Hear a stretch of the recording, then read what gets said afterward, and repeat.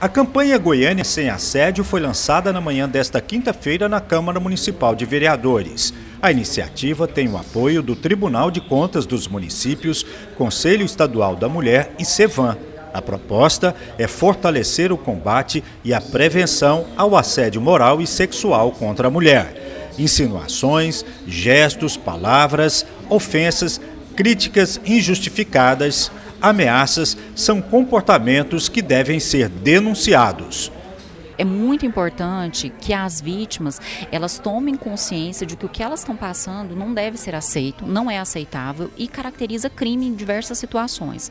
Então elas têm que noticiar esses fatos à polícia para que seja investigado, para que tenha uma punição, porque nós sabemos e percebemos que tem algumas vítimas que elas entram num processo profundo de adoecimento, com crises depressivas, que irá prejudicar, inclusive, a vida profissional dessa vítima. Então ela não pode se permitir passar por isso. O presidente da Câmara Municipal, Romário Policarpo, destacou a importância da campanha no combate à violência.